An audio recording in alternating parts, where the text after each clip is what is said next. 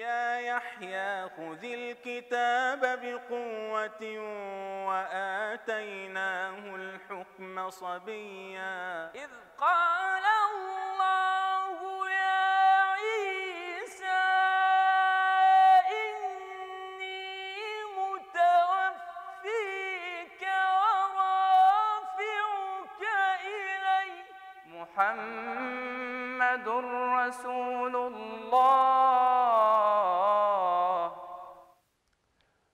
السلام عليكم ورحمة الله. إن الحمد لله نحمده ونستعينه ونستغفره ونعوذ بالله من شرور أنفسنا ومن سيئات أعمالنا. من يهديه الله فلا مضل له ومن يضلل فلا هادي له. وأشهد أن لا إله إلا الله وحده لا شريك له. وأشهد أن محمدا عبده ورسوله. اللهم صل وسلم وبارك عليه وعلى آله وصحبه وسلم. سورة التوبة. التوبة means repentance.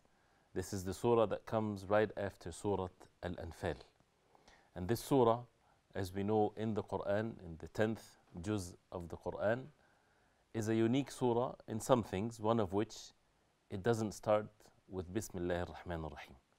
If we open the Mus'haf, if we open the Quran, you would find before every surah there is Bismillah ar-Rahman ar-Rahim is written.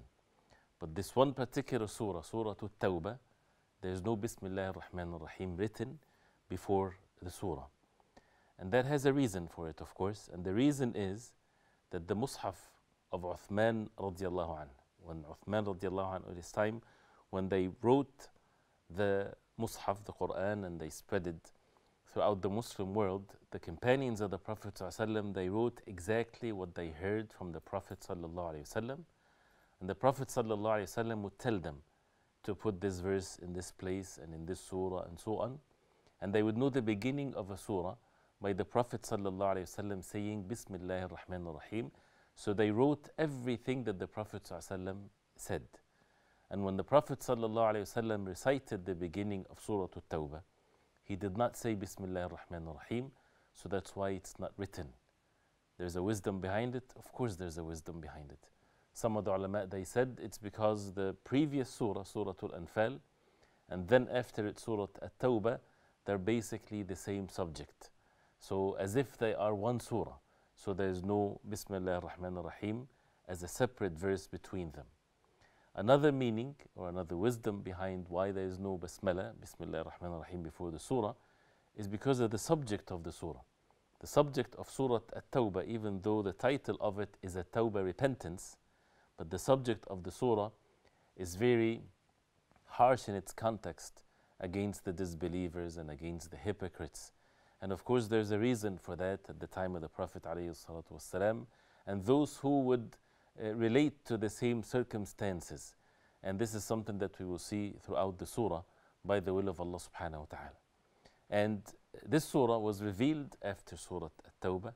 It was said to be the last surah as a surah, as a chapter of the Quran, to be revealed to the Prophet in the ninth year after the hijrah of the Prophet ﷺ, when the Prophet ﷺ, after the battle of Tabuk, and the Prophet ﷺ intended to go for Hajj on that year.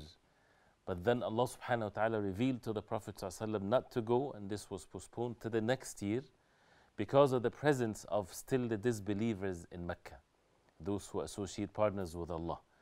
And they are still mixed with the believers in Mecca, and of course they have their shirk uh, actions in some occasions or their non-proper way of doing things. So Allah subhanahu wa ta'ala ordered His Prophet sallallahu to send Abu Bakr anhu as the leader of Hajj for this year and sent with him Ali ibn Abi Talib anhu for a reason also to declare what's mentioned in the beginning of the surah. To declare the first verses of Surah At-Tawbah to all of the people in Mecca, to the believers and the disbelievers, making this declaration, disassociating the Prophet ﷺ from the treaties that was between him and the disbelievers in Mecca after they broke their covenant one time after the other, and making it very clear to them so that the Prophet ﷺ and the believers will come for the Hajj and to establish the haqq, the truth in Mecca and Arabic Peninsula by the will of Allah subhanahu wa ta'ala. So, uh, and the reason why that Ali ibn Abi Talib radiallahu anhu, the cousin of the Prophet ﷺ, was sent with Abu Bakr radiallahu anhu, even though Abu Bakr is the Amir of the Hajj at this time, or this year, is because the Arabs at the time, if they, if someone would declare something after a covenant, disassociating oneself from a covenant or breaking the treaty, they would not accept it unless it's someone from his blood relatives. So that's why he was sent to make that declaration with the verses of Surah At-Tawbah. So this is definitely something for us to, to learn and to get to know the circumstances and, and the reason why the verses were revealed. And this is how we learn the verses of the Quran. It is not to be taken out of context as the enemies of Islam they try to do. And uh, learning the truth about it shows the justice of Allah subhanahu wa ta'ala. One of the amazing and interesting things about the surah even though the subject of it is, as we would see, very harsh towards the disbelievers, the hypocrites, and that's for a great reason for them to repent to Allah subhanahu wa ta'ala. Whoever recites the Quran from the beginning till Surah At-Tawbah, that person is ready now for this. And to repent to Allah subhanahu wa ta'ala, which is something mentioned in the surah many, many times. If we count how many times the word At-Tawbah or repentance is mentioned, uh, in the surah maybe 17 times. More even than how it's, it's mentioned in Surah Al Baqarah, which is a bigger surah than Surah Al Tawbah. That's why you see the title of it is a Tawbah, repentance. And this is basically what is the lifetime of a human being should be to repent to Allah subhanahu wa ta'ala. This is the lifetime job. And that is to repent to Allah subhanahu wa ta'ala, to understand the purpose of one's life, and to take the matter serious, and also the relationship between the believers and the disbelievers. And there are times when they're oppressed, and times when they are superior and they have the means. And we're talking about haqq, the truth, versus falsehood. And this is something that also has to be put in consideration for the goodness of the people. And before we start the surah, also when we, when we think about the haqq and the batil, the truth versus falsehood, and we see what's going to happen in the day of judgment. The people of the truth will be in Jannah, and the people of falsehood will be in hellfire. And when they go to the hellfire, meaning the disbelievers and the hypocrites, they would curse themselves. And they would wish that they repented to Allah subhanahu wa ta'ala. And they would wish that they were upon the truth. So it's by the mercy of Allah subhanahu wa ta'ala when people get to see the truth. And when the truth is prevailing, when the truth has the upper hand, when the truth and the people of the truth are in, charge, are in charge and superior, and there are people of justice, there are people of mercy, then all kinds of goodness will be spread throughout the earth. And one of which is for people to get to know the truth without any barriers, without any fear to hold fast to the truth, without any fear that they would be persecuted or killed or whatever there is because of them embracing the deen of Allah subhanahu wa ta'ala. So this is also something, a meaning that is widespread throughout the entire Quran. And this is something also that we heard in Surah Al-Anfal, Allah subhanahu wa ta'ala ordering the believers to prepare themselves, to take the means to be strong, to be physically strong. For what reason? Not for their own personal gain or their national interest, but rather for the truth to prevail. For the words of Allah subhanahu wa ta'ala to be superior, for people to see the truth, and for the truth to be established on the face of earth. Otherwise, it becomes fitna and corruption and all kinds of tribulation on the face of earth as a result of the weakness of the people of the truth. And this is something that we all see as a reality. When the people of the truth are weak, this is what happens to the humanity on the face of earth. They become in state of darknesses and corruption and so on. So let's start, inshallah ta'ala, with some uh, of the beginning of the surah, verses of Surah At-Tawbah. It has many names to it and we'll go through the, the verses and try to understand, inshallah ta'ala, the meanings of it. One of the name, as we said, the surah has many names to it. The name that we see written in the Masahif is Surah At-Tawbah. Tawbah means repentance. So that's something that we should, again, try to think about and get to know the rulings of Tawbah and how to repent to Allah subhanahu wa ta'ala and to leave the sins and to uh, apply the deen of Allah subhanahu wa ta'ala and the conditions for it and so on. But also it has the name uh, one of the titles of the surah is with the first word of it, which is bara'ah, as we would see in the beginning of the verse. The first word, which is bara'ah, which means declaration of disassociating the oneself from as it's going to be mentioned from what that's what something that is mentioned in the surah also one of the names of it is al-fadiha that means it exposed the, the matters very clearly exposed the ways of the hypocrites. It exposed the characteristics and what's in the hearts of the hypocrites. So as if they are very clear and they were very clear when it comes to their characteristics to the believers so that they warn themselves against them and many other uh, meanings, one of which is punishments and the like of that. so let's start, inshallah ta'ala, with the first verse in Surah Bara'ah or Surah At-Tawbah. Allah subhanahu wa ta'ala says, براءة من الله ورسوله إلى الذين عاهدتم من المشركين which means this is a declaration of disassociation from Allah and His Messenger sallallahu alayhi wasallam to those with whom you had made a treaty among the polytheists. So the surah starts with this powerful word, bara'a, in the in pronoun sense here that this is a declaration of bara'a really means disassociation or disavowal or distancing oneself, declaring the refutation that we have nothing to do with whatever the subject of the bara'a or the associating oneself that was present before. So this is a bara'a, this is declaration of disassociating, disavowal. Where is it from? From who? From Allah subhanahu wa ta'ala and His Messenger And His Messenger because the Messenger of Allah, he, when he was in a covenant with the disbelievers, it wasn't from the Prophet ﷺ himself and his opinion and his desire, but it was from revelation from Allah subhanahu wa ta'ala. Allah subhanahu wa ta'ala ordered the Prophet to be in that treaty of Al Hudaybiyah, for example. And Allah subhanahu wa ta'ala is the one that ordered the Prophet ﷺ to disassociate himself from it after the disbelievers of Mecca. They broke the covenant and they broke the treaty by, by not being faithful to the terms of it. And the same thing with the Jews in Medina and the like of them. So Allah subhanahu wa ta'ala is the one that ordered the Prophet ﷺ to be in such a covenant.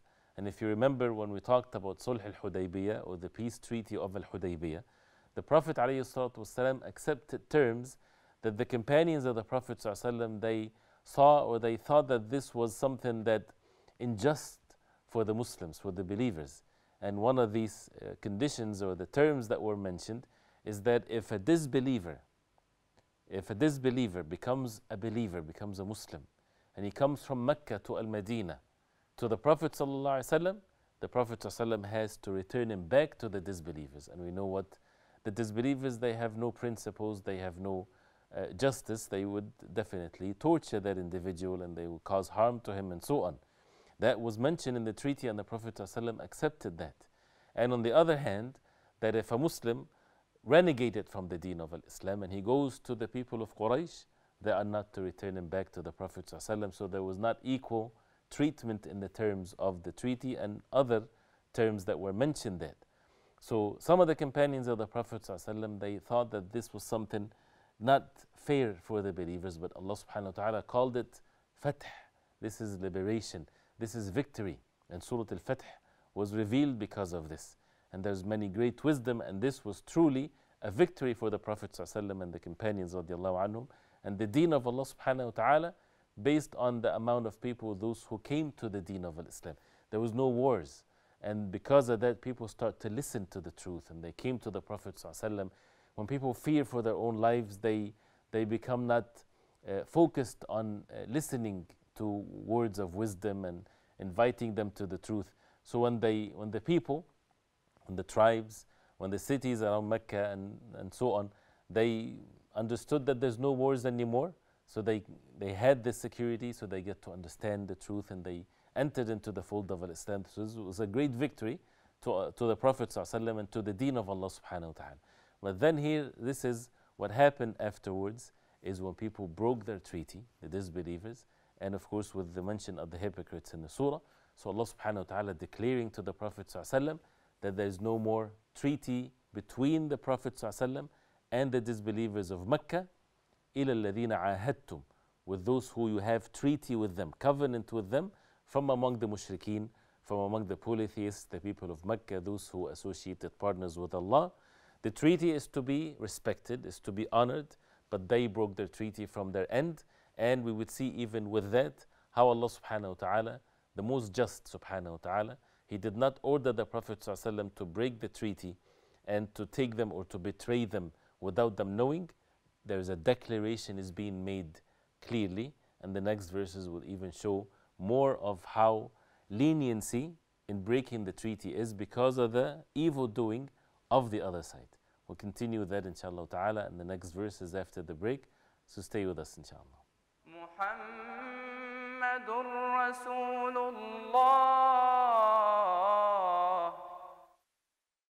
محمد رسول الله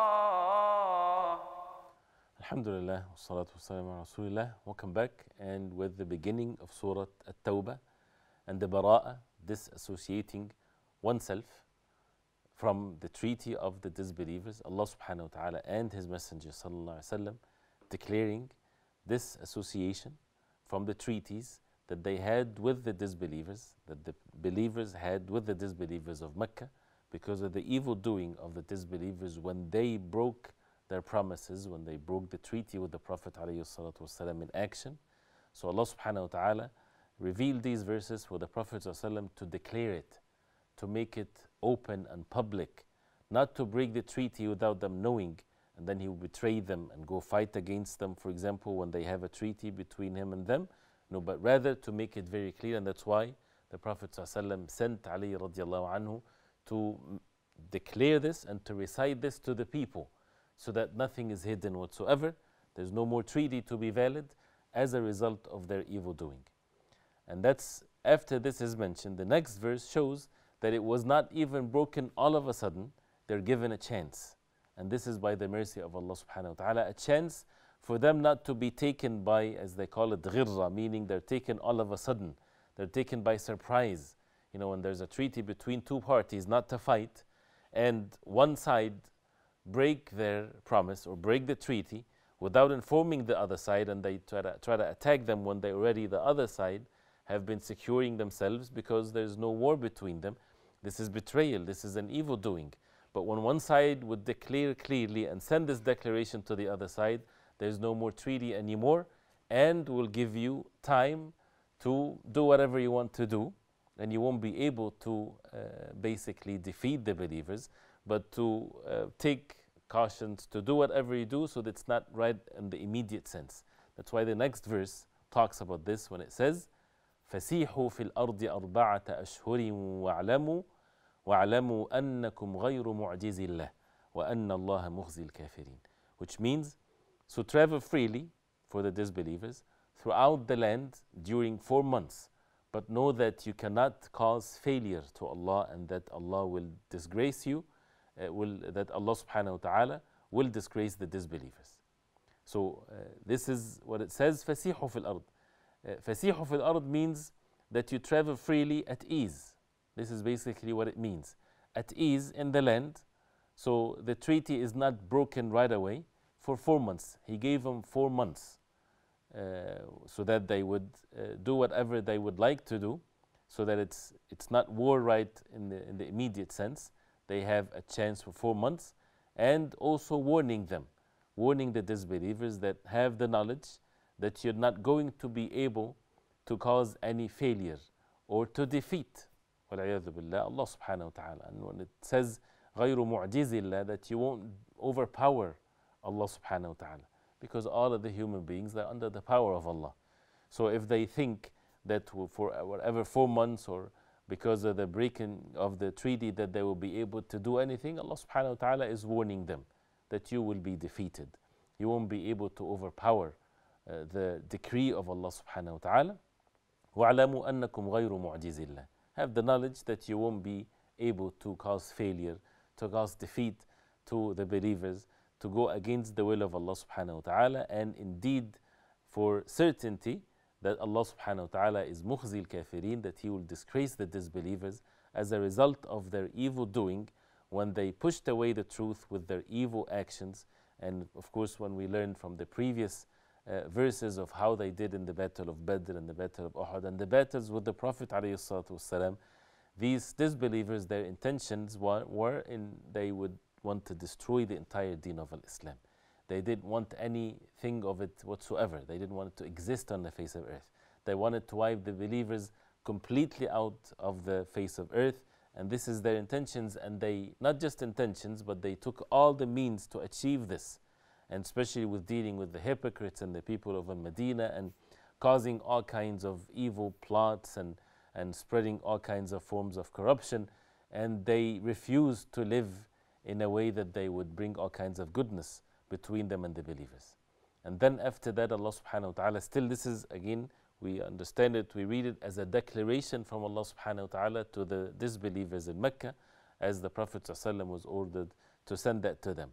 The next verse, Allah subhanahu wa ta'ala says to the Prophet والسلام, and here the declaration to the disbelievers, verse number three, وأذان من الله ورسوله إلى الناس يوم الحج الأكبر أن الله بريء من المشركين ورسوله فإن تبتم فهو خير لكم وإن توليتم فاعلموا أنكم غير معجز الله وبشر الذين كفروا بعذاب أليم which means and it is an announcement from Allah and His Messenger to the people on the day of the greater pilgrimage that Allah is disassociated from the disbelievers and so is His Messenger.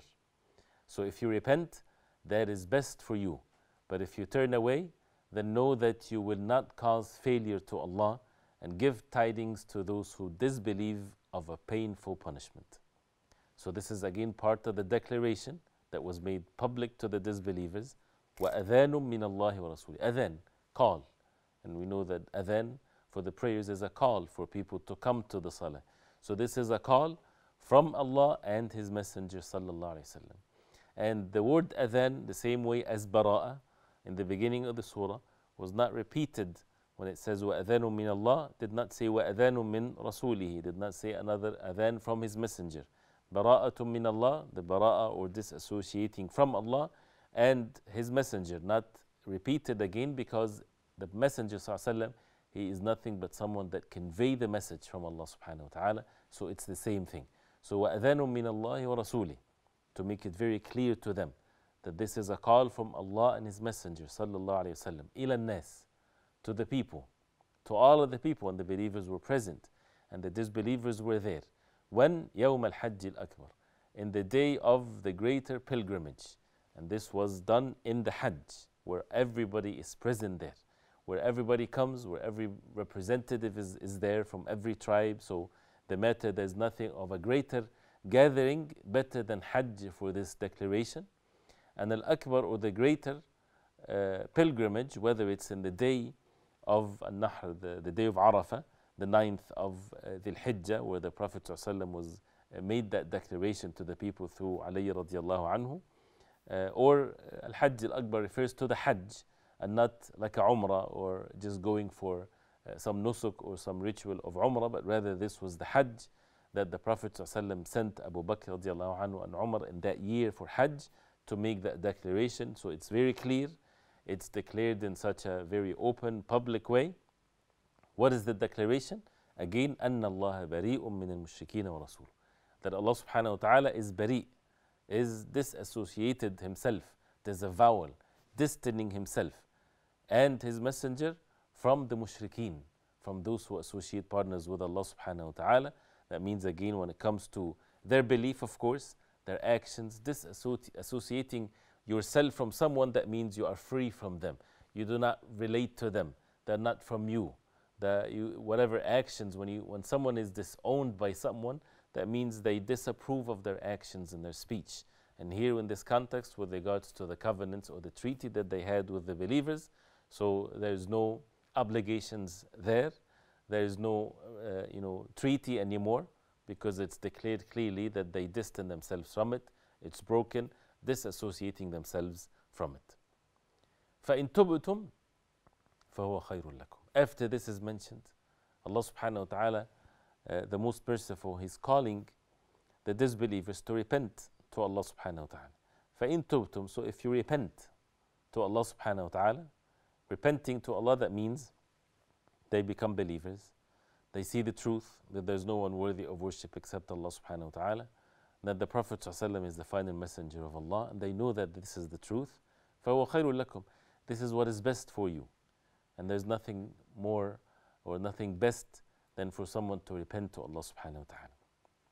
And even though this is in the context of the verse, but when we look at this by itself, فَإِن تُبْتُمْ فَهُوَ خَيْرٌ لَكُمْ Something that we should always be reminded of. That whoever, whatever sin the person is upon, even if that sin is bringing billions of dollars to the person, even if that sin is causing his closest and his most loved individuals on the face of earth to love him and to respect him and so on because of that sin. We always have to remember that tawbah or repenting to Allah subhanahu wa ta'ala is definitely what is best for the person. فَإِن تُبْتُمْ فَهُوَ خَيْرٌ لَكُمْ If you repent to Allah subhanahu wa ta'ala, it's definitely what is best for you. Because sins would not bring anything but evil. It might be not an immediate one, it is in, in itself is evil because it's disobeying Allah subhanahu wa ta'ala, but the outcome of it is regret and misery and punishment and so on. فَإِن تُبْتُمْ فَهُوَ خَيْرٌ لَكُمْ If you repent, then that's what's best for you. And then on the other hand, the other choice, وَإِن تَوَلَّيْتُمْ If you turn away, and tawallaytum becomes the opposite of tubtum. That means the tawbah is to return to Allah with repentance. Tawallaytum, that means you turn away. You see how the, the, the meaning of the opposite of the tawbah, the opposite of repentance, is that the person is turning away from Allah instead of going closer to Allah, the Creator, the Sustainer, the Most Merciful, they turn away from Allah subhanahu wa ta'ala because of their arrogance, because of their stubbornness and evil doing, and so on. So, فَإِن وَإِن تَوَلَّيْتُمْ If you turn away and you don't repent to Allah subhanahu wa ta'ala, then فَاعْلَمُوا أَنَّكُمْ غَيْرُ مُعْجِزِ اللَّهِ then have the knowledge that you're not going to cause failure to Allah. That your tawalli, your turning away from Allah subhanahu wa ta'ala, is not going to cause any defeat to the orders of Allah. You're not going to be superior on the land because you're turning away from the repentance and from turning to Allah subhanahu wa ta'ala.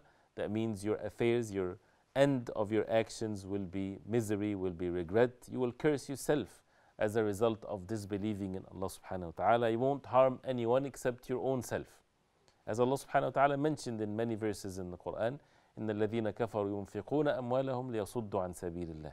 Indeed, the disbelievers they spend so much of their wealth to oppose the people from the path of Allah. So what's going to happen? فسينفقونها. They will spend their wealth. ثم تكون عليهم حسرة ثم يغلبون.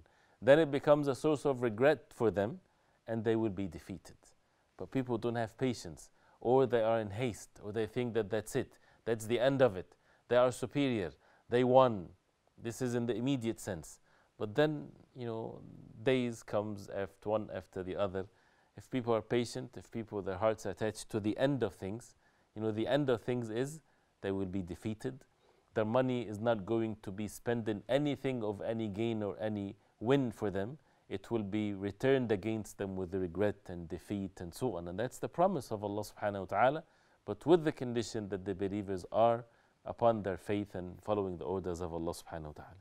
So Allah subhanahu wa ta'ala is giving them the clear statements and this declaration that if they turn away from repentance, then have the knowledge that you're not going to cause any failure to Allah subhanahu wa ta'ala and to the orders of Allah subhanahu wa ta'ala.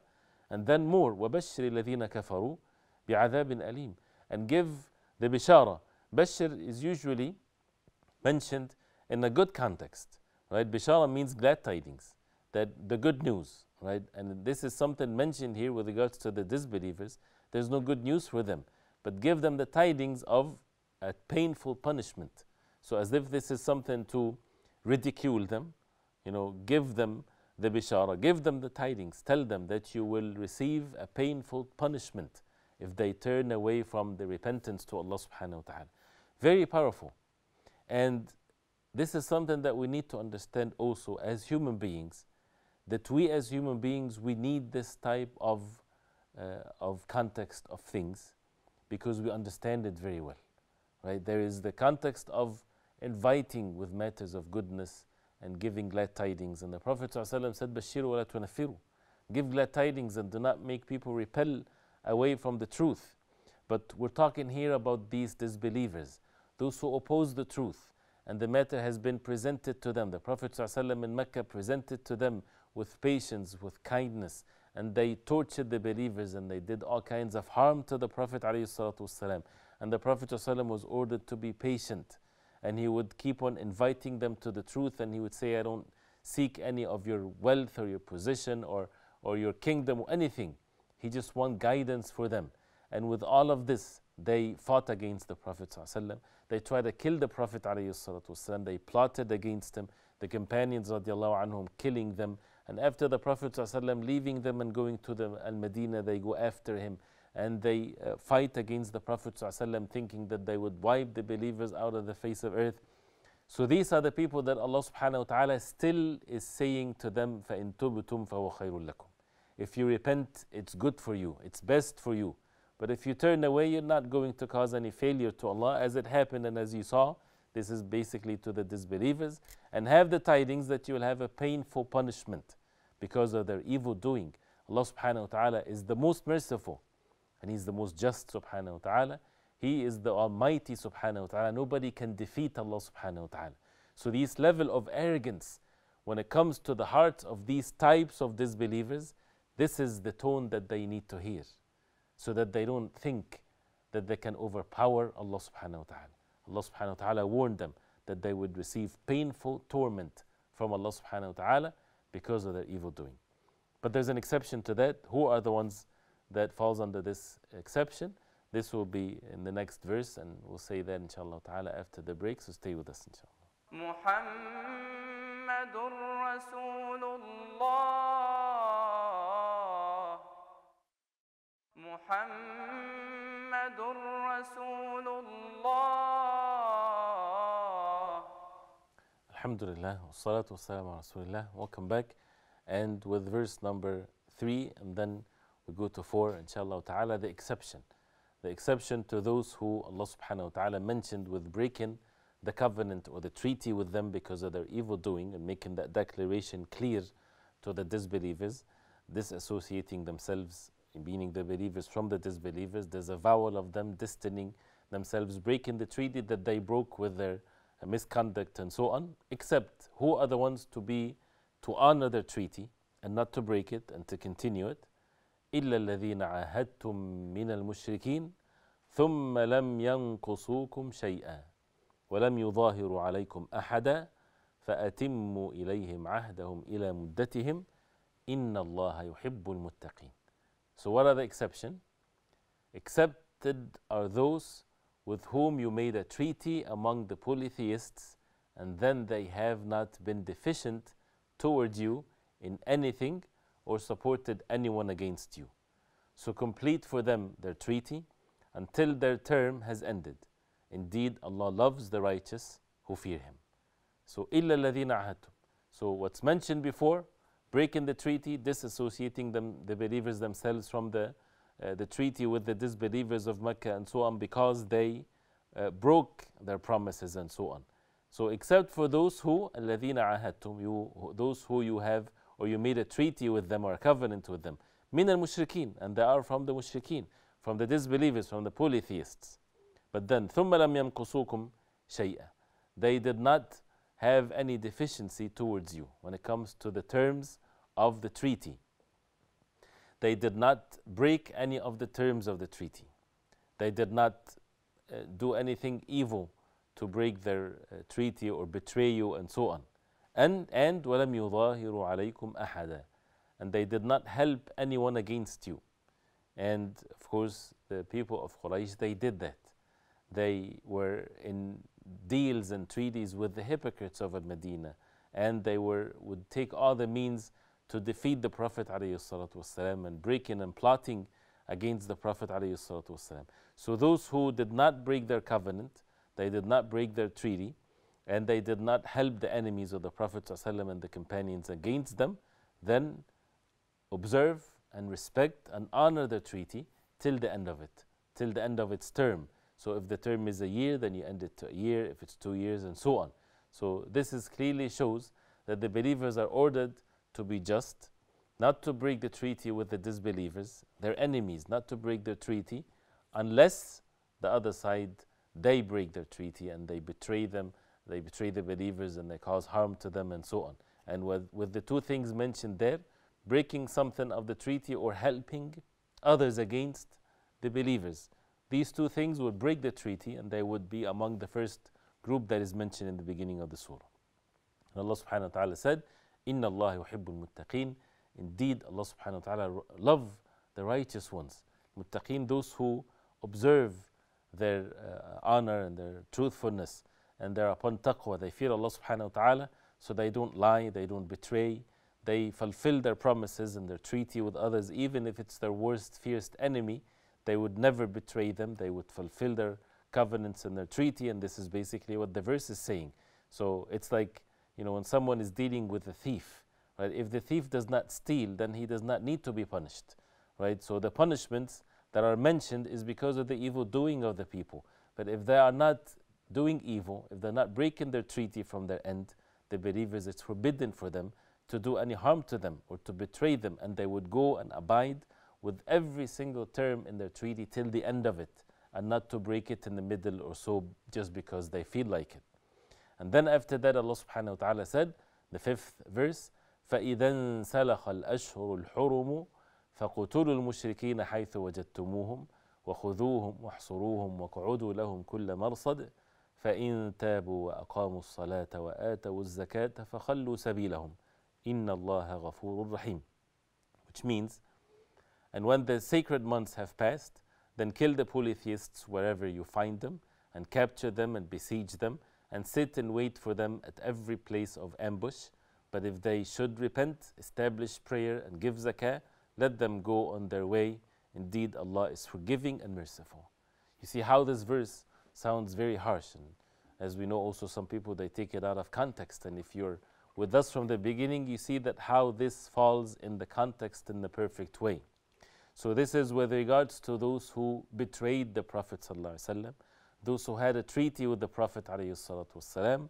and they broke their promise and they betrayed against the prophet ﷺ. they broke the terms of the treaty and they helped the enemies of the prophet ﷺ against him and his companions radiallahu anhum those who at first the declaration was made that we have nothing to do with you when it comes to this treaty, and given them even four months, even though they deserve to be attacked immediately because of their evil doing and how that would harm the believers in such a great sense. And imagine that you know numbers of people can be killed as a result of the disbelievers breaking their treaty from their end. And still Allah subhanahu wa ta'ala gave them four months, making the declaration very clear that for that treaty to be broken in such a way. So after the sacred months, after the four months passes, then those who broke their treaty, these enemies, فَقُتُلُوا الْمُشْرِكِينَ حَيْثُ وَجَدْتُمُوهُم that you, uh, you kill them uh, wherever you uh, find them. وَخُذُوهُم uh, وَاحْصُرُوهُم وَاقْعُدُوا لَهُمْ كُلَّ مَرْصَدٍ All of these types of ways to siege them, to surround them, because they deserve to be uh, treated in such a way because of their evil doing and because of them fighting against the people of the truth and betraying them. And this is exactly what the disbelievers they intended to do, and this is for those who intended to do to the uh, believers with their actions. So this is the equal retribution that is needed to be observed. And then, with all of that, even though they deserve all of this because of their evil doing and more of the evil that they do, Allah subhanahu wa ta'ala the most merciful says, فَإِن تَابُوا If they repent to Allah subhanahu wa ta'ala, and the tawbah is mentioned again here. If they repent to Allah subhanahu wa ta'ala, that means they become among the believers and they follow the orders of Allah subhanahu wa ta'ala. وَأَقَامُوا الصَّلَاةِ And establish the salah. And it shows the importance of the salah. And this is as the Prophet ﷺ he said, العهد الذي بيننا وبينهم الصلاة فمن تركها فقد كفر. The covenant between us and them is the salah. Whoever leaves it, he had committed kufr or disbelief. So a believer, the difference between the believers and the disbelievers when it comes to matters of al-iman, then after that is the salah. So establish and establish the salah and pay the zakah, فَخَلُّوا سَبِيلَهُمْ That means set them free. Let them on their way. That means there's no war, of course, against them because they repented to Allah. Even though they were in war against you and they might even caused bloodshed among the believers, but Allah subhanahu wa ta'ala ordered to set them free because they became believers. And for the believers, they are only to take the outside appearance of actions of others. They're not supposed to check what's in the hearts of others because nobody has the capacity And Allah subhanahu wa ta'ala could have exposed their inside intentions to the Prophet but to keep the matter like this that in this life people are test to one another. That's why the hypocrites, for example, they are disbelievers in their hearts, but they pretend to be with the believers. And Allah subhanahu wa ta'ala ordered the Prophet ﷺ and the companions radiallahu anhum to treat the hypocrites like as if they are among the Muslims, but to take cautious against their evil plotting and actions and so on. So if they repent to Allah subhanahu wa ta'ala and establish the salah and pay the zakah, فَخَلُّوا سَبِيلًا That means let them be on their way. Indeed, Allah subhanahu wa ta'ala is Ghafurur Rahim. He's the most forgiver and He's the most merciful subhanahu wa ta'ala.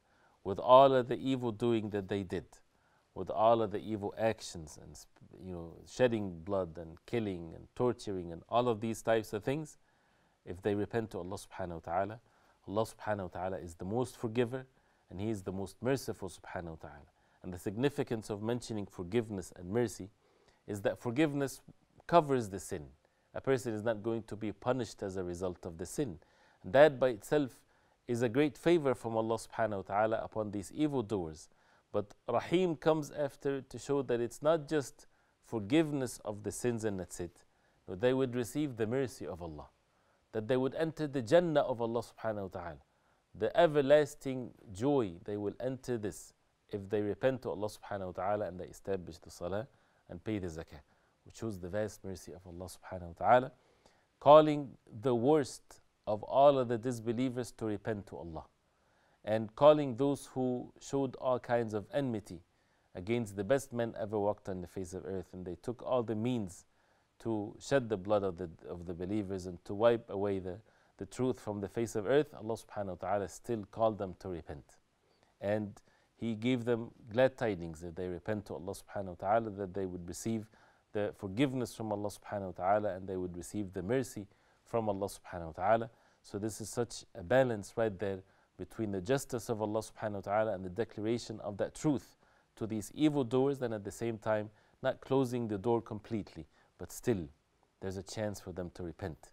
And if they repent to Allah subhanahu wa ta'ala, as it will come also in the in verses to come, that they are your brothers for the sake of Allah. They are your brothers in the deen. Your fiercest enemy, your worst enemy becomes your closest brother for the sake of Allah. What changed that situation is the faith, is al iman. Is for them to repent to Allah subhanahu wa ta'ala, and that's the beauty of the truth.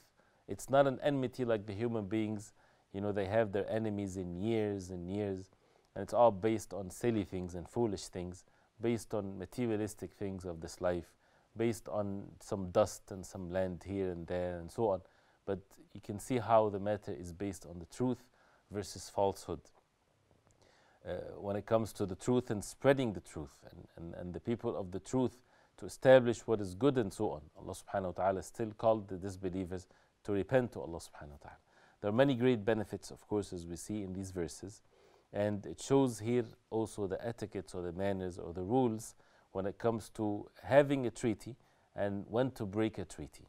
And the believers are ordered to observe the amana and to be trustworthy, as it's mentioned before, the beginning of Surah Al Ma'idah and others.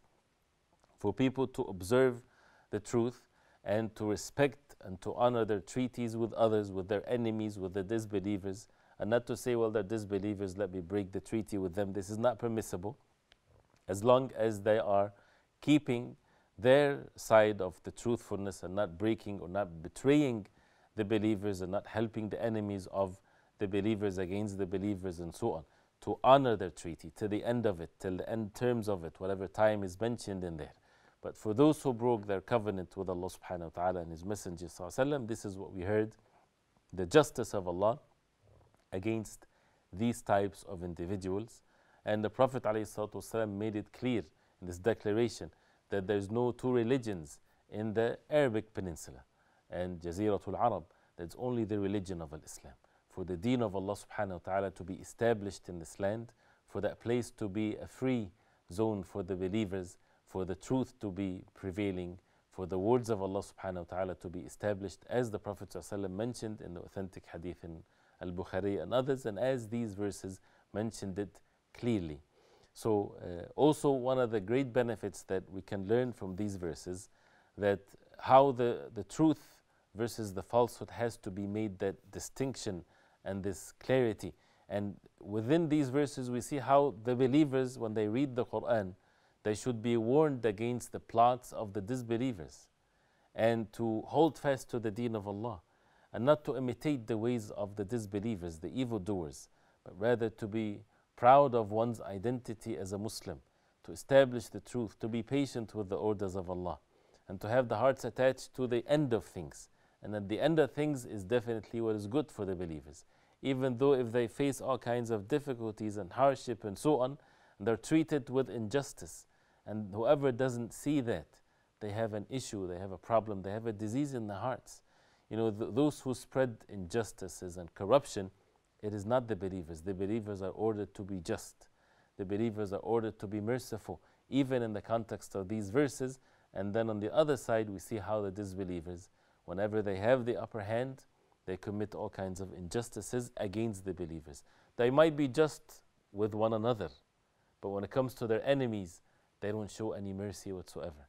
But with the deen of Islam, Allah subhanahu wa ta'ala ordered the Prophet even though he is the final messenger of Allah, and ordered the companions and ordered the believers, when they are dealing with their enemies, is to treat them with justice and to treat them with what Allah subhanahu wa ta'ala ordered them. And that's the beauty of the deen of Islam. So this is in the context of war and treaty between two parties are enemies to each other and the enmity is based on matters of faith and they're fighting for the believers for the sake of Allah and the disbelievers to oppose the way of Allah subhanahu wa ta'ala and with all of that still Allah subhanahu wa ta'ala ordered the believers whenever they have the upper hand is to observe the justice and to do what Allah subhanahu wa ta'ala ordered them so that they don't betray the other side as the disbelievers they did. The many lessons of course to learn and the repentance of Allah subhanahu wa ta'ala and so on. But we'll continue inshallah ta'ala with more of these verses in the next time if Allah subhanahu wa ta'ala give us life. وصلى الله وسلم وبارك على محمد وعلى آله وصحبه وسلم والسلام عليكم ورحمة الله وبركاته إلا الذين تابوا وأصلحوا وبينوا فأولئك أتوب عليهم وأنا التواب الرحيم. فادعوا الله مخلصين له الدين ولو كره الكافرون.